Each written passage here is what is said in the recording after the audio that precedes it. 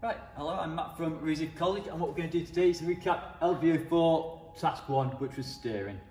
Okay, so before we start any task what we always do is make sure that we do a risk assessment, ramp checks and obviously our PPE.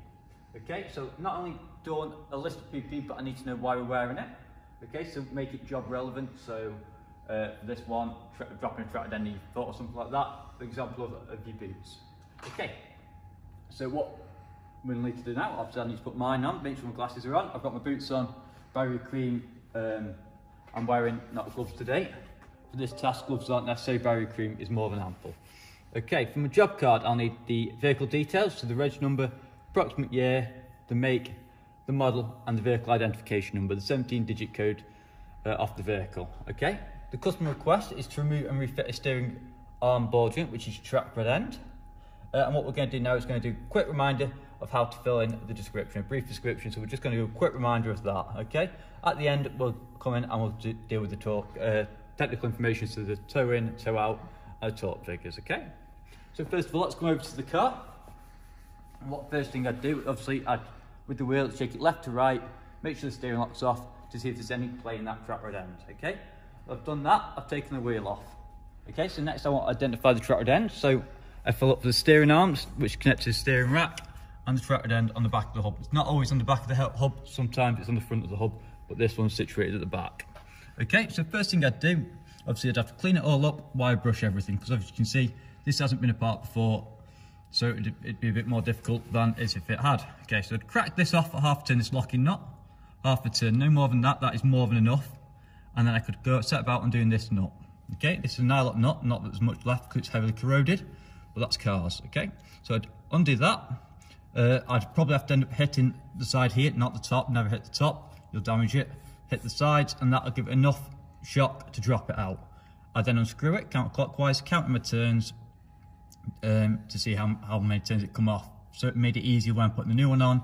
Same amount of turns, so wind it back on, same amount of turns. This makes it a lot easier when I come to my tracking, because by tracking, I lengthen and shorten the distance here to move the back of the, the hub forwards and backwards.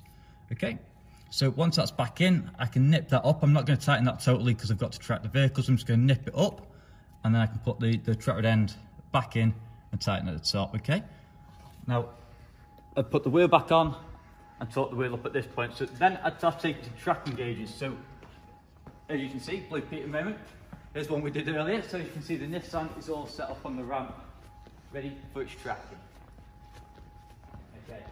First thing I need to do is make sure that I have my steering wheel clamped before I send it up.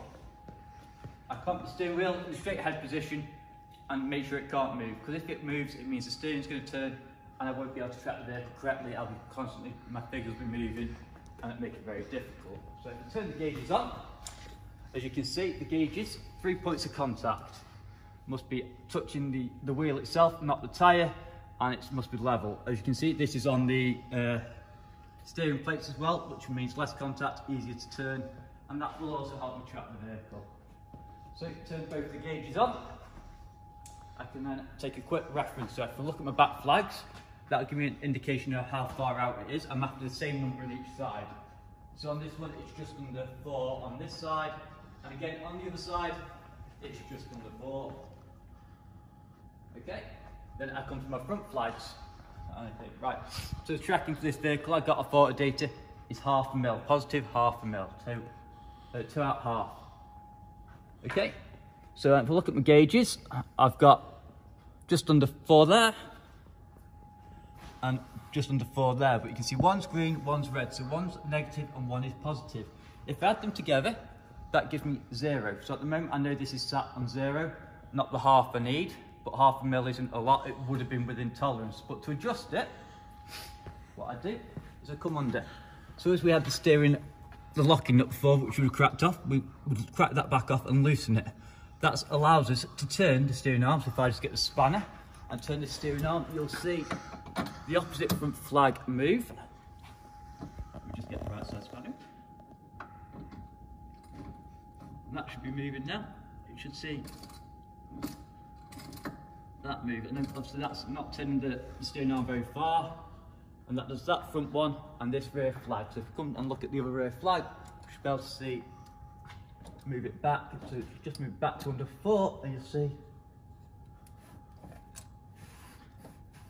I'll open one side. Works so then I'll that back up, check my gauges, and then I lock the locking nuts back up, make sure they're nice and tight. And then I can road test the vehicle and make sure that the steering wheel is in the straight ahead position and the vehicle is running true and straight, okay? Uh, so if we go back to technical information, which is the last thing we need to address on this job card now. As I said, the towing toe out, so we're positive plus uh, half a mil, 0.5 millimeters. And the uh, torque setting we'll need is for the road wheels at 110 newton meters. Okay? The special tools used is a torque wrench. We need to make sure the calibration sticker is on that and within date. Uh, the tracking gauges, obviously, a special tool need. Uh, and third fault found on this one would have heavily corrosion on the tracking, uh, rod end and the steering arm. Okay? So that should have covered everything you need for your job card. Uh, I hope that you found that helpful and uh, goodbye.